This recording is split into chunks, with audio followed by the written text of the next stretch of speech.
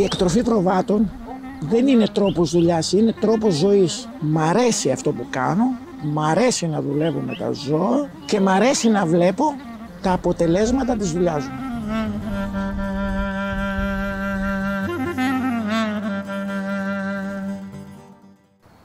Καλώς ήρθατε στα Φλάμπουρα, Πρεβέζης. Είμαι ο κτηνοτρόφος Κώστας Κάτσενος, πάπου προς πάπου αυτή τη δουλειά. Την κτηνοτροφία από παιδάκι ασχολούμαι, μου αρέσουν τα ζώα, ήμουν κοντά στον παππού, κοντά στον πατέρα μου. Ε, κάποια στιγμή όταν ο πατέρας μου αποφάσισε να σταματήσει την κτηνοτροφία, επέλεξε να τη συνεχίσω εγώ. Ο πατέρας σου ήταν μετακινούμενος κτηνοτρόφος; Ο πατέρας μου ήταν μετακινούμενος κτηνοτρόφος. Ε, το καλοκαίρι πηγαίνανε στα βουνά, στη Λάιστα συγκεκριμένα και το χειμώνα ερχόταν στα χυμαδιά, όπου είναι το μέρος που είμαστε τώρα εδώ εμείς και ξεχειμονιάζανε εδώ το χειμώνα. Είσαι Σαρακατσάνος; Είμαι Σαρακατσάνος. Νιώθεις περήφανος για την καταγωγή σου; Νιώθω πολύ περήφανος. Έχει ζήσει ιστορίες με το τσελιγκάτο; Έχω ακούσει πώς ήταν η κοινωνία, πώς ήταν ο Τσέλιγκας, πώς ήταν οι οικογένειες, δηλαδή ο Τσέλιγκας είχε 10, 12, 15 οικογένειες, ήταν μαζεμένοι όλοι μαζί. Ε, το καλοκαίρι που βγαίνανε πάνω ε, υπήρχε ε, ο δάσκαλος, το δάσκαλο τον πλήρωνε ο Τσέλιγκας. Τον πλήρωνε το καλοκαίρι για να μαθαίνει, του είχε ειδικό κονάκι, εκεί θα κοιμότανε και εκεί θα μαθαίνανε τα παιδιά τα γράμματα. Μαζί με αυτούς πήγαινε και ο Μπάτζος, αυτός που έφτιαχνε τα, το τυρί. Ο τυροκόμος. Ο τυροκόμος. Πήγαινε για αυτός και αυτός είχε το δικό του κονάκι και το δικό του κονάκι που φτιάχνανε διπλή καλύβα που λέμε που φτιάχνανε τα τυριά. Όταν πηγαίνανε πάνω, την πιο πολλή δουλειά την, αναλα... την ανάλαβαν οι γυναίκες. Οι γυναίκες πήγαιναν για ξύλα, οι γυναίκες φτιάχνανε τα κονάκια, οι γυναίκες πήγαιναν για νερό, οι γυναίκες ζυμώνανε, οι γυναίκες πλένανε. Η, η δουλειά της Σαρακατσάνας ήταν πολύ δύσκολη. Ήταν πάρα πολύ δύσκολη. Οι γυναίκες πρέπει να φτιάξουν τα ρούχα, το φαγητό, το φούρνο, τα πάντα.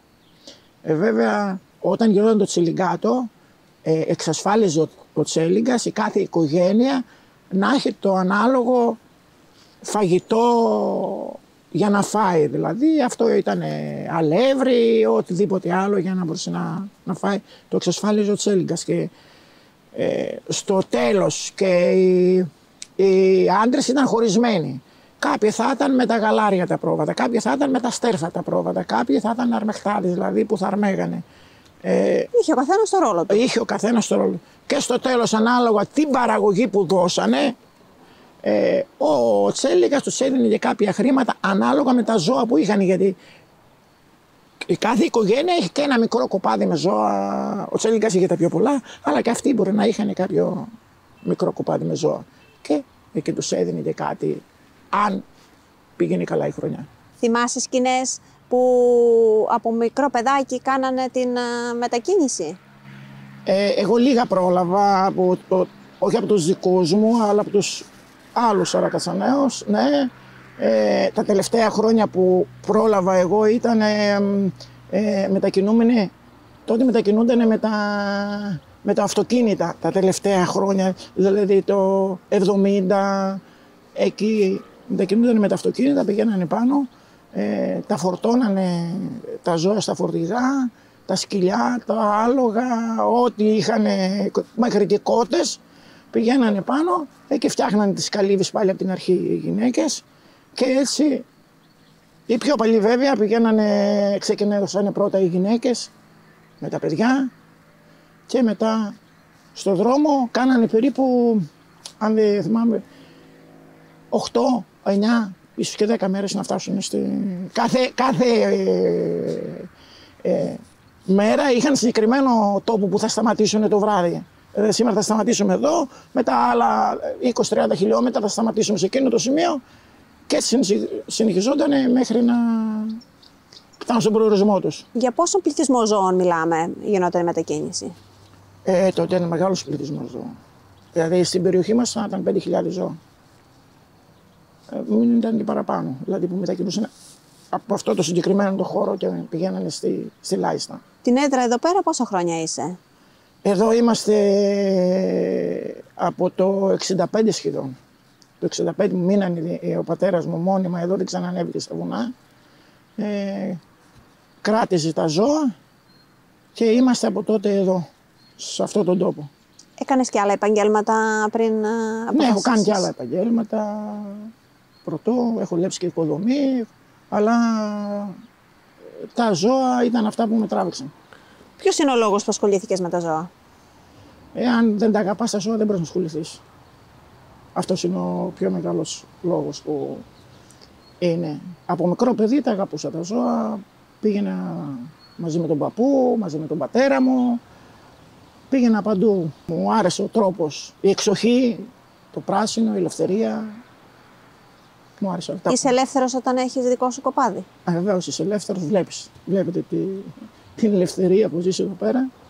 Ε, Ηρεμείς, ησυχάζεις και όταν είσαι σωστό στη δουλειά σου και το αγαπάς, σίγουρα βοηθάς και την οικογένειά σου. Έχω μεγαλώσει τρία παιδιά, έχω σπουδάσει και μέχρι στιγμής είμαστε καλά. Θέλεις να μας περιγράψεις πώς είναι η μέρα σου Κώστα; Οι μέρες είναι όλες σχεδόν ίδιες. Ξυπνάς το πρωί, 5.30 ώρα, 6, έρχεσαι για άρμεγμα, τελειώνεις το άρμεγμα, όταν τα ζώα είναι μέσα δεν βγαίνουν έξω, τους ρίχνεις το, το χορτάρι, τα φυράματα που χρειάζεται. Και κάποια στιγμή, κοντά στο μεσημέρι, πρωτού το μεσημέρι, 10-11 ώρα, τελειώνεις αυτή τη δουλειά θα πας σπίτι και το απόγευμα ξαναξεκινάει πάλι το ίδιο ε, τάισμα, άρμεγμα, ε, κάποια θα δεις, ίσως κάποιο είναι άρρωστο, ίσως κάποιος κουτσένει, κάποιο θέλει να γεννήσει, ε, όλα αυτά πρέπει να τα προσέχεις και να είσαι πάνω στα ζώα, να, να τα κοιτάς. Τι φιλή είναι τα ζώα, Κώστα; Η φιλή είναι ντόπια φρεζάρτα, δικιά μας φιλή εδώ στην περιοχής της Σάρτας. Εμείς τώρα κάνουμε μερικές αλλά πάντα να είναι από ντόπια ζώα, δηλαδή να γεννιούνται εδώ τα μικρά και να μεγαλώνουν εδώ για να εξοικειωθούν με το περιβάλλον και να είναι σε πιο καλύτερη κατάσταση και υγεία να έχουν καλύτερη. Ποιες είναι οι υποδομές εδώ; Οι υποδομές είναι ούτε σύγχρονες αλλά ούτε και παλιές. Δηλαδή υπάρχει αρμιχτήριο σύγχρονο, παγολεκάνες στο οποίο πήγαινε το, το γάλα.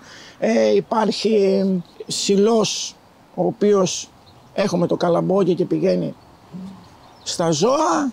Ε, τα μηχανήματα, το τρακτέρ και αυτά τα οποία κουβαλάμε τα χορτάρια. Όταν η μπάλα είναι τετράγωνη μεγάλη, δηλαδή έχουμε τα πυρούνια την πηγαίνουμε. Ε, έχουμε αρδευτικά που ποτίζουμε για τα ζώα το καλοκαίρι με καρούλια, με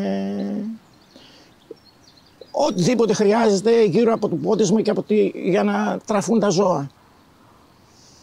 Εκτός από ελεύθερα που βόσκουν εδώ στα λιβάδια που τα βλέπουμε, τρώνε και άλλες τροφές; Το χειμώνα ναι.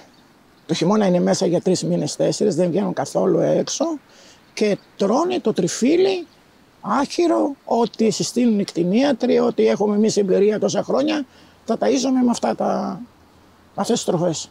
Τις ζωοτροφές που παράγουμε, ε, προσπαθούμε να αποφεύγουμε τα δηλητήρια, προσπαθούμε να αποφεύγουμε τα λιπάσματα. Συνήθως η λίπανση γίνεται από τα δικά μας λίματα από το ζώο. Την κοπριά που έχουμε την απλώνουμε κάθε χρόνο στο χωράφι μας σήμερα σε ένα σημείο, αύριο σε άλλο σημείο, ούτως ώστε μέσα σε χρονικό διάστημα να καλύψουμε αυτό που μπορούμε να καλύψουμε και ξανά πάλι από την αρχή. Το γάλα τι το κάνεις; Το γάλα το δίνουμε στη γαλακτοβιομηχανία έρχεται με το βετίο και μας το παίρνει. Είσαι ικανοποιημένος με την τιμή του γάλακτος; Ε, σήμερα ναι. σήμερα ναι. Μιλάμε για σήμερα.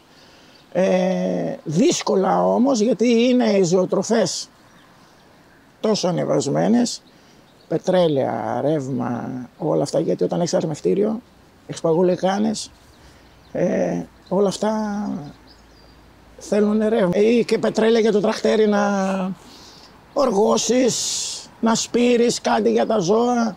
Ε, όλα αυτά έχουν ανέβει στα ύψη. Και είναι δύσκολο. Είναι δύσκολο αν δεν προσέξεις και δεν κάνεις καλή διαχείριση, ε, δύσκολα μπορεί να βρεθείς να μην μπορείς να τα βγάλεις πέρα. Το γάλα που παράγουμε είναι βιολογικό. Είμαστε πιστοποιημένοι, είναι βιολογικό ε, προσπαθούμε να το συνεχίσουμε αυτό. Να μην μπούμε σε διαδικασίες να ταΐζουμε ζωοτροφές που να μην είναι σύμφωνες με τις αρχές μας. Οι αρχές μας είναι να βοσκήσουν, να φάνε αυτά τα πράγματα σωστά που είναι και τα φάρμακα να τα έχουμε περιορισμένα, δηλαδή να μην είναι ανεξέλεκτα να κάνουμε δηλαδή, αυτά που είναι μόνο απαραίτητα για να μπορέσουν τα ζώα να είναι υγιείς και να μπορούν να αποδώσουν το γάλα που πρέπει να αποδώσουν.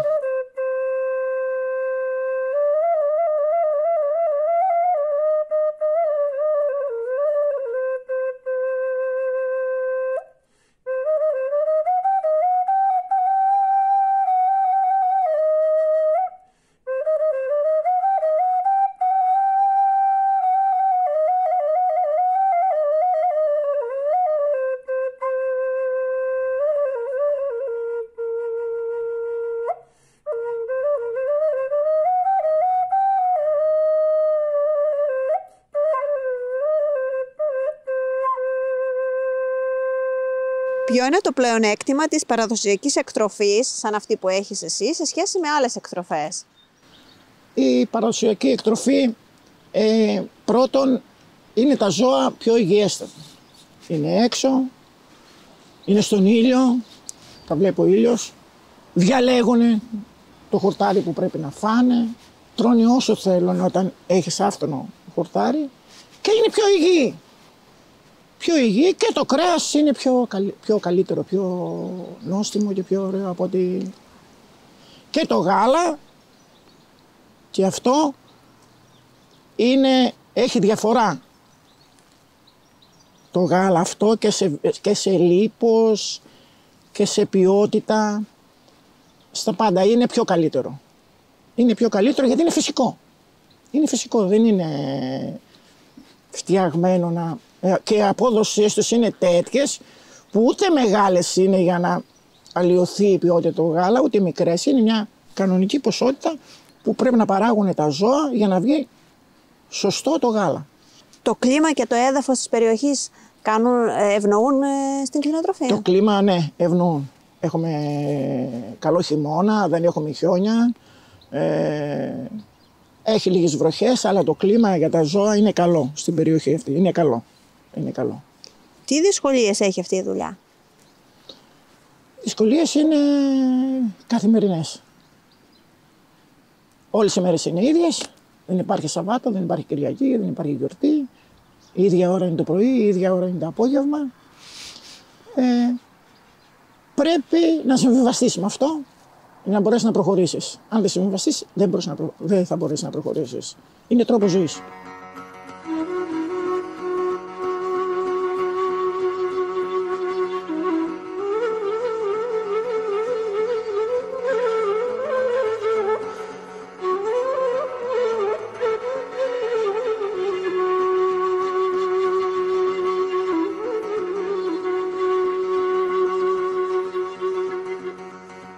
Είναι οι αρρώστιες που απειλούν το κοπάδι σου; Πιο γνωστή εδώ σε εμάς γιατί είναι υγρός ο τόπος είναι η κλαπάτσα την οποία προσέχουμε και τους, ε, μαζί με το κτηνίατρο τους δίνουμε δύο φορές τουλάχιστον του χρόνου φάρμακα για να αντιμετωπίσουμε και εμείς οι ίδιοι προσέχουμε πού θα τα βοσκήσουμε. Είναι ορισμένα σημεία που ξέρουμε ότι αυτά τα σημεία μπορεί τα ζώα να, έχουν, να φάνε και να έχουν αυτή την αρρώστια μετά να βρεθούμε προεκπλήξεων δηλαδή αυτό. Ε, άλλη μία που έχουμε εμείς που δεν το έχουν πολλές περιοχές είναι και η Κουσαμάρα. Η Κουσαμάρα είναι μεγάλη πληγή. Βέβαια δεν το, παλιά δεν το είχαμε. Τώρα τα τελευταία 20 χρόνια, 25 χρόνια έχει έρθει αυτό το, το πρόβλημα. Τώρα είναι καλύτερα με τα φάρμακα και με αυτά τα προσπαθούμε, έχουμε, έχουν συνέρθει λίγο και πιστεύω κάποια στιγμή να το ξεπεράσουμε την Κουσαμάρα. Πότε γεννάνε.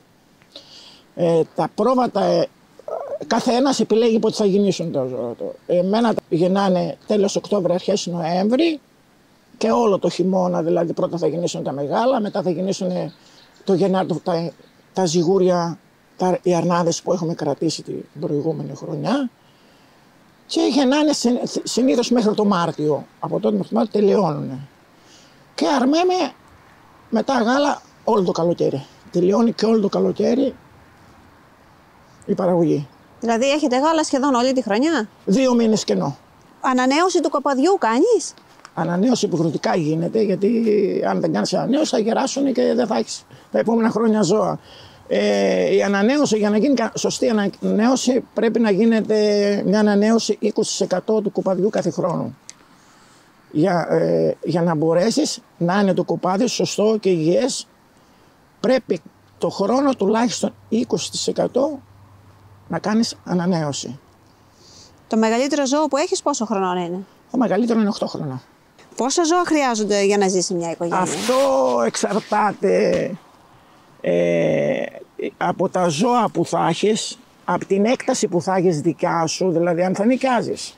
Αν θα τα αγοράζεις όλα, βέβαια θα, θα έχεις θες πιο πολλά ζώα. Όταν είναι, έχεις δικιά σου τις εκτάσεις, τα χωράφια δικιά σου, πιστεύω με 200 ζώα, 250 ζώα να μπορεί να ζήσει μια οικογένεια.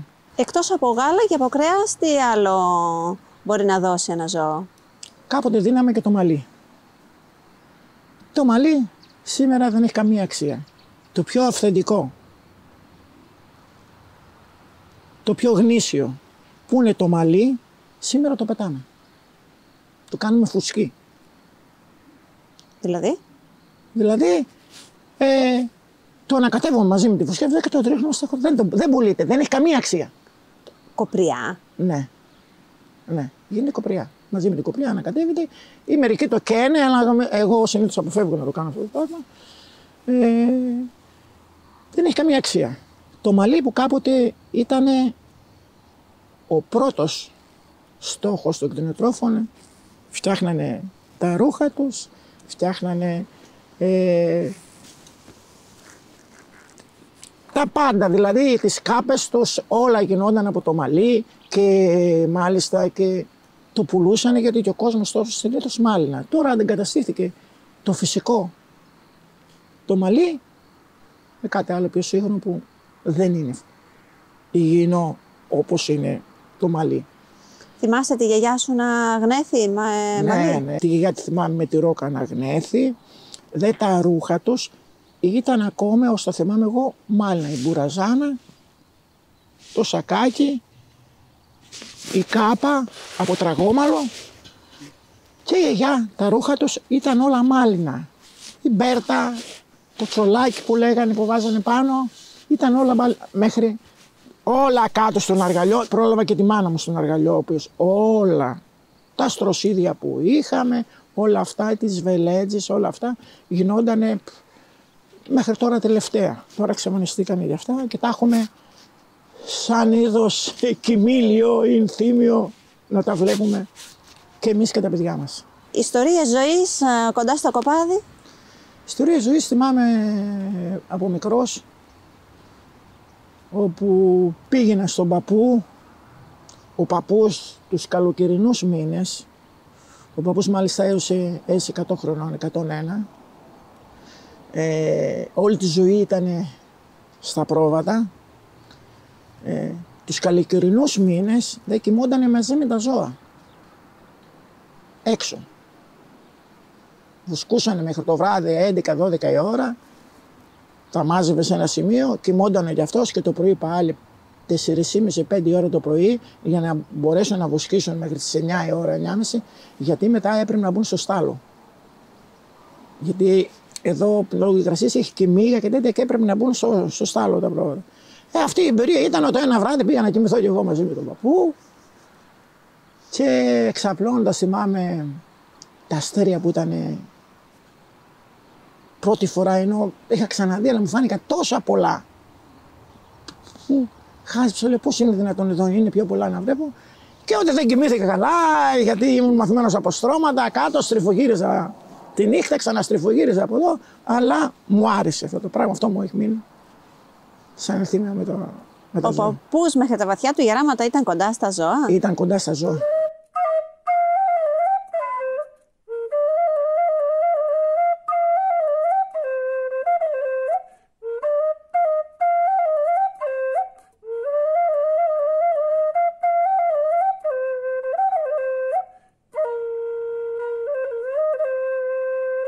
Λύκους έχετε στην περιοχή; Δεν έχουμε λύκο στην περιοχή. Τα τελευταία χρόνια έχουμε τσακάλια. Γι' αυ- Έχουμε πάρει βέβαια και μέτρα προφύλαξης στο κοπάδι. Ένα από αυτά είναι τα σκυλιά, τα τζομπανόσκυλα, ο ποιμενικός ελληνικός. Ο οποίος ο ποιμενικός ελληνικός είναι από αρχαίων χρόνων. Είναι ένα σκυλί πιστό στο κοπάδι και πιστό στο αφεντικό του. Σήμερα και αμ- αυτά όχι μόνο τα έχουμε για μα- να μας φυλάνε, τα έχουμε και για να τα καμαρώνουμε μες στο κοπάδι. Και αυτός είναι ο λόγος που με τα σκυλιά είμαστε πολύ δεμένοι. Όπως εγώ μ' αρέσουν. Είχε άλογο ο πατέρας μου, είχαμε άλογα και κρατήσαμε γιατί και οι γη μου θέλανε τα άλογα να πάνε μια βόλτα, να επεύσουν και μ' αρέσει και το άλογο και το έχω το άλογο και όσο θα μπορέσω να το συντηρώ ή να, ζ- να ζω να μπορώ να το συντηρήσω, πάντα θα υπάρχει το άλογο στη στάνη, στο σπίτι μου, να το έχουμε ένα ζώο που είναι όμορφο, που είναι ιδιαίτερο και που τόσο πολύ έχει βοηθήσει τους γονείς μας όλα αυτά τα χρόνια και στις μεταφορές και στα ξύλα και στο νερό, παντού.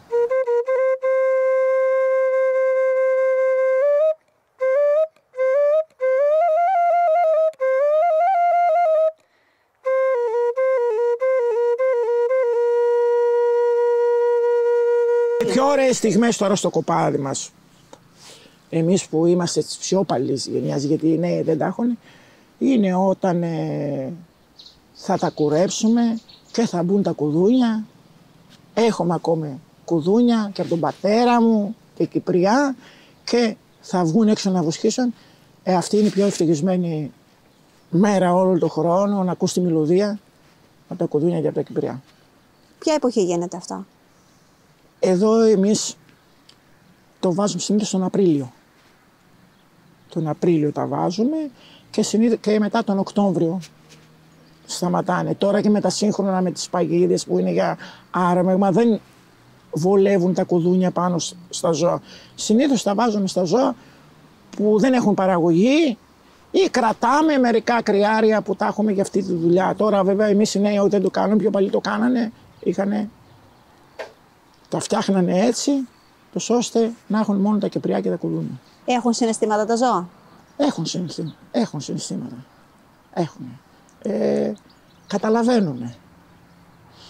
Μάλιστα καταλαβαίνουν και πώς θα μπεις μες στο κοπάδι, με τι διάθεση θα μπεις. Δεν ξέρω αν θα μπεις ήρεμα ή να τα ταΐσεις, σε καταλαβαίνουν. Αν θα μπεις ότι πρέπει να πιάσεις ένα ή να κάνεις, έχουν άλλοι. Τον άνθρωπο τον καταλαβαίνουν τα ζώα όταν θα μπει μες στο κοπάδι ή όταν το πρωί θα ξεκινήσει να πάνε για βοσκή και θα έρθουν πίσω του, ξέρουν πού θα πάει ο τσομπάνος και πού θα σταματήσουν και πού θα βοσκήσουν. Τα παιδιά σου θα αναλάβουν το επάγγελμά σου; Πιστεύω ότι θα τα αναλάβουν κάποια στιγμή. Βέβαια όχι ε, με αυτές τις συνθήκες να κάθονται εδώ με το... σε πιο σύγχρονα πιο σύγχρονες εγκαταστάσεις που θέλουν εκείνοι, το σκέφτονται και πιστεύω κάποια στιγμή να θελήσουν να κάνουν αυτή τη δουλειά. Γιατί την ξέρουν, γιατί την ξέρουν, γιατί έρχονται και στο αρμεκτήριο και να αρμέξουν και να, παρόλο που έχουν άλλες δουλειές, τους αρέσει και στα μηχανήματα και στα τρακτήρια και παντού έρχονται. Ποια είναι η γνώμη σου για την νεολαία, θέλει να ασχοληθεί με την κτηνοτροφία; Η νεολαία είναι δύσκολο να ασχοληθεί με την κτηνοτροφία, ειδικά η κτηνοτροφία που έχει άρμεγμα δηλαδή που πρέπει να αρμέξει το ζώο, είναι πολύ δύσκολο. Γιατί υπάρχει η κτηνοτροφία που είναι για πάχυνση. Δηλαδή, βρει το χορτάρι, είναι διαφορετική. Η κτηνοτροφία που, έχει, που είναι για άρμηγα είναι πολύ δύσκολη. Δεν μπορείς να πεις ότι α, 5 ώρα, 6 ώρα το πρωί, εγώ δεν πάω σήμερα και θα πάω στι 9. Δεν γίνεται αυτό. Δεν γίνεται. Πρέπει οι ώρες να είναι οι ίδιε για να είναι σωστό το κοπάδι.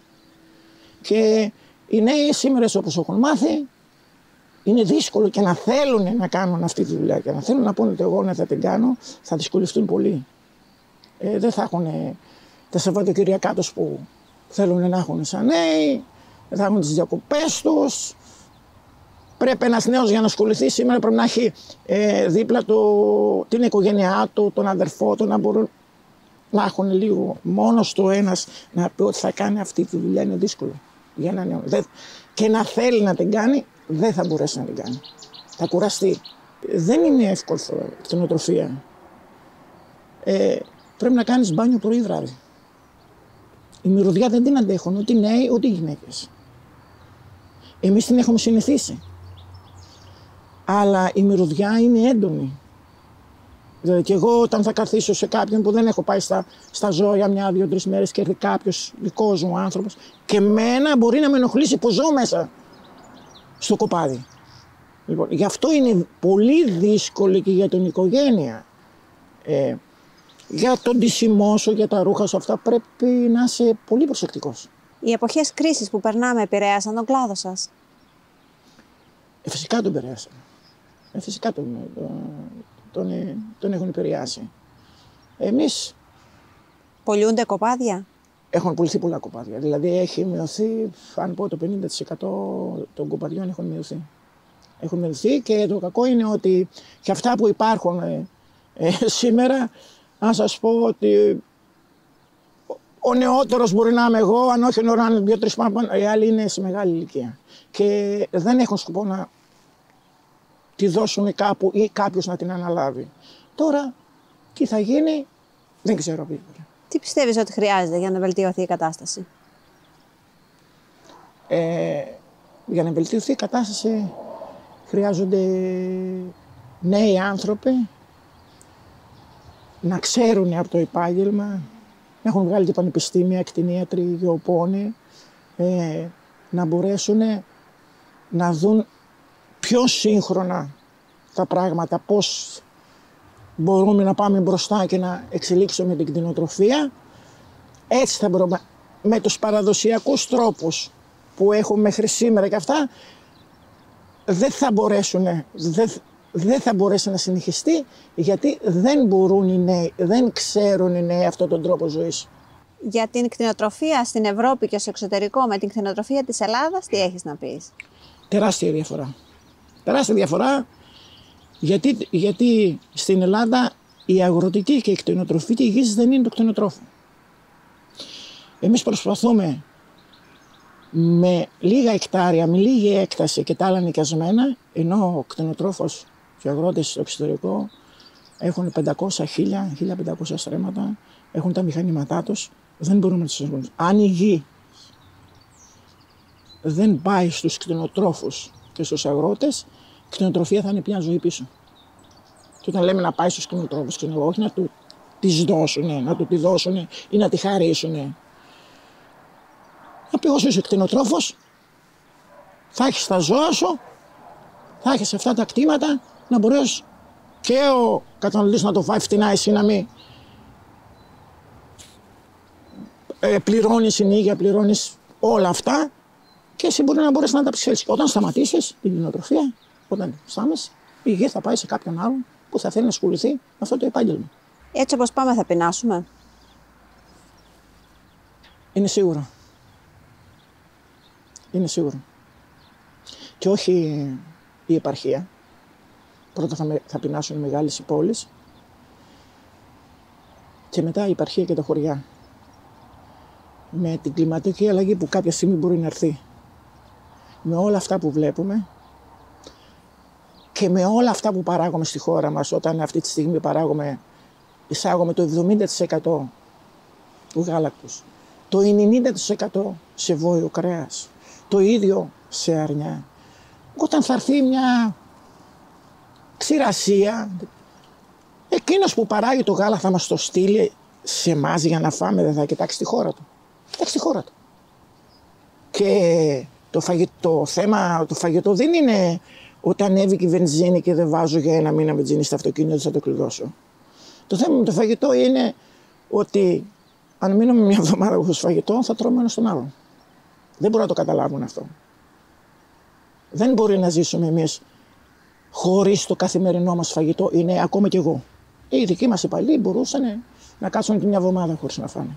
Εμείς δεν μπορούμε. Θέλει υποστήριξη ο πρωτογενής τομέας. Θέλει υποστήριξη. Θέλει υποστήριξη. Άμα δεν έχεις τον πρωτογενή. Άμα δεν μπορείς να παράγεις το φαγητό σου, άμα δεν μπορείς να παράγεις σαν χώρα το φαγητό σου, και ακόμη και στη γεωργία σου και τα σιτηρά σου και αυτά, τι θα παράγεις μετά; Πώς θα είναι σε μια δύσκολη στιγμή να μπορέσεις να ταΐσεις το λαό σου; Με τι. Οι παλιοί λέγανε ότι όποιος έχει ζωντανά είναι, είναι ζωντανός. Αυτό ισχύει. Το ζωντανό, που το λέμε εμείς το πρόβατο που το λέμε ζωντανό, σε κρατάει ζωντανό. Αν γύριζες το χρόνο πίσω, θα ξαναγινώσουν κτηνοτρόφο. Θα ξαναγινόμουν.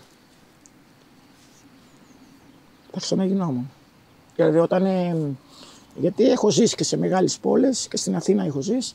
Όταν ε, ξαπλώνω εδώ κάτω από τον ίσιο και κλείνω τα μάτια και σκέφτομαι ότι στην Πατησίων γίνεται χαμός και θες δύο ώρες για να πας σπίτι και όλη την βαβούρα, δεν τον μπορώ. Ας με κλαϊδούν τα πουλιά εδώ και να είμαι ήσυχος. Ασχολείσαι με κάτι άλλο, έχεις κάποιο χόμπι; Ε, το χόμπι μου ήταν κυνήγι. Πήγαινα για κυνήγι. Ε, θάλασσα, στη θάλασσα πηγαίνουμε πολύ. Κάνουμε δηλαδή τρει-τέσσερι μήνες συνεχεία που να κάνουμε. Είναι χόμπι αυτό. Θα πάμε κολυμπάμε για γυμναστική. Γιατί είναι κοντά εδώ η θάλασσα μας. Και πηγαίνουμε στη θάλασσα δηλαδή και εκεί περνάει και λίγο ο καιρός μας. Στη θάλασσα γνώρισε και τη γυναίκα σου πριν ε, κάμποσα πολλά χρόνια. Ναι. Παλικαράκι και παντρευτήκατε, έτσι ναι, δεν είναι; Ναι, ναι, ναι. Ε, στη θάλασσα που πηγαίνουμε εκεί γνώρισα και τη γυναίκα μου, η οποία είναι από τα Γιάννενα, είναι Γιαννιώτησα. Και εμείς από τη Λάιστα πηγαίνουμε, ερχόμασταν εκεί. Εντάξει και παντρεύτηκα μικρός. Έχω τρία αγόρια και έναν εγγονό είμαι και παππούς. Έχω και έναν εγγονό. Και πιστεύω ότι τα καταφέραμε καλά μέχρι στιγμής. Ε, τα παιδιά μου έχουν δικιά τους δουλειά. Ο μικρός επέλεξε να ασχοληθεί με αυτόν τον τομέα, είναι γεωπόνος ζωοτέχνης. Έχει τελειώσει το Πανεπιστήμιο Αθηνών. Και βλέπουμε μπροστά να έχουμε την υγεία μας και να μπορέσουμε να πάμε καλύτερα. Είναι σημαντικό Κώστα να έχεις υποστήριξη από την γυναίκα στο επάγγελμα αυτό; Ε, άμα δεν έχεις υποστήριξη, δεν μπορείς και να το κάνεις. Δεν μπορείς να συνεχίσεις. δεν μπορείς να τα απεξέλθει γιατί οι ώρες είναι πολλές. Ε, ε, Μερικές φορές είναι και παραπάνω από τις κανονικές, γιατί όχι μια. Δεν θα γίνεις τώρα, θα γίνεις αργότερα. Πρέπει να καθίσεις, πρέπει να κάνεις. Ποια είναι η πιο ευχάριστη στιγμή της ζωής σου, Ε, τώρα η πιο ευχάριστη ζωή της ζωής μου ήταν τα παιδιά μου. Ήταν όταν ήρθαν τα παιδιά μου. Αυτή είναι η πιο ευχάριστη ζωή της στιγμής μου. Και ο γονός μου τώρα. Αυτή είναι η πιο ευχάριστη ζωή. Δεν, δεν μπορώ να το συγκρίνω με τίποτα άλλο. Του παιδιού σου το παιδί είναι δύο φορές παιδί; Είναι δύο φορές παιδί. Είναι δύο φορές παιδί.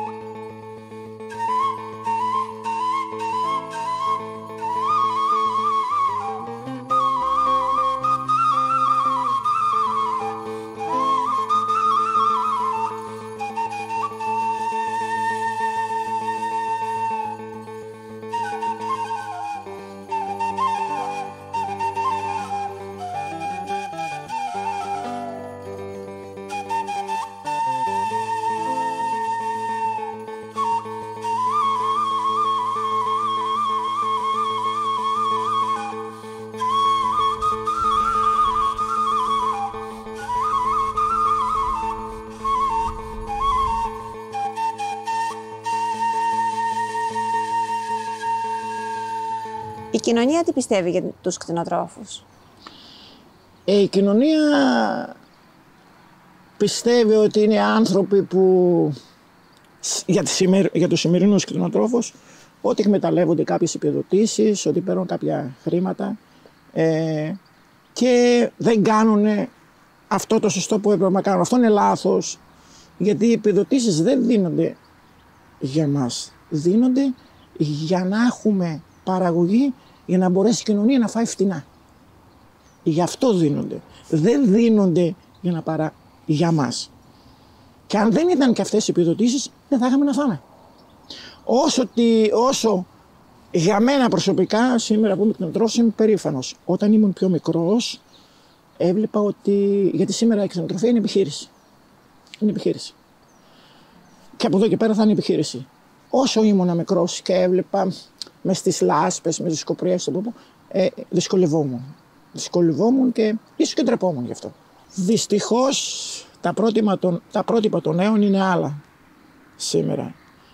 Ε, ασχολούνται με πράγματα που δεν έχουν καμία αξία, αλλά δεν μπορούν να το καταλάβουν. Ε, δεν ξέρουν τι τρώνε και από πού- πού προέρχεται αυτό που τρώνε. Δεν ξέρουν ποιος το παράγει. Δεν ξέρουν ακόμη τα ζώα. Δηλαδή μπορεί να φάνε κρέας ή να φάνε κάτι και να ξέρουν από τι ζώο είναι. Ε, έτσι δεν θα μπορέσουμε να προχωρήσουμε. Δεν θα μας ταΐζουν ή θα τους ταΐζουν. Ό,τι θέλει ο καθένας. Ό,τι νομίζει θα τους λέει είναι ψάρι. Θα λέει αυτός είναι ψάρι και ας είναι κοτόπουλο. Πρέπει και νέοι να ψαχτούνε να δούνε τι τρώμε, από πού προέρχεται, τα σχολεία, η γυμνάσια, να έρθουνε που κάνουν εκδρομές και πηγαίνουν στα μόλ, τι πηγαίνουν, να έρθουν να δουν ένα κτηνοτρόφο. Να του ρωτήσουν τι είναι αυτό; Όταν ένας άνθρωπος 20 χρονών το ρωτάνε τι κάνει η προβατίνα; και λέει η προβατίνα κάνει το προβατάκι και το αρνί κάνει το αρνάκι, πώς μπορούμε να πάμε μπροστά μετά; Πώς βλέπεις το μέλλον της δικής σου δουλειάς; Το μόνο της δικής μου δουλειάς το βλέπω ότι όσο θα είμαι υγιής και όσο θα είμαι στα πόδια μου, θα υπάρχουν τα ζώα. Θα υπάρχουν τα ζώα γιατί αν δεν υπάρξουν τα ζώα για μένα που έχω μεγαλώσει εκεί, δεν θα υπάρχει και μετά ζωή πιστεύω, δεν θα, είναι, δεν θα μπορώ να είμαι αυτός που ήμουνα. Εδώ με ευχαριστεί, με ξεκουράζει, με ερημεί και είναι δουλειά που αγαπάω. Κώστα, θέλουμε να σε ευχαριστήσουμε που μας δέχτηκε σήμερα στην στάνη σου και μας μίλησες για το επάγγελμά σου. Και εγώ ευχαριστώ που ήρθατε και με ακούσατε και είχατε χρόνο και την ώρα ατελείωτα να σας περιγράψω πώς είναι η ζωή μας και πώς περνάμε εμείς κτηνοτρόφοι. Και θα ήθελα να σας καλέσω το καλοκαίρι όπου έχουμε το αντάμωμα να έρθετε εδώ να δείτε πάλι το αντάμωμα του Σωρακατσανέων που κάνουμε το καλοκαίρι τον Άβου, το μήνα Αύγουστο.